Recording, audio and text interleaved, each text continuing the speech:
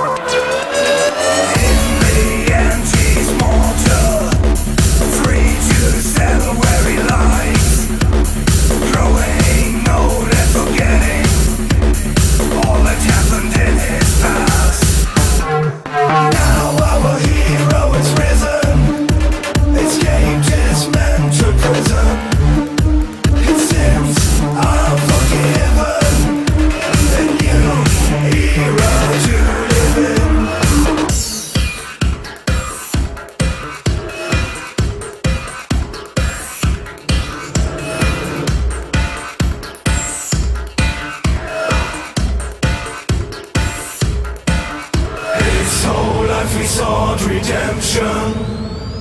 Praying so long for absolution, always has the best intention. Fighting for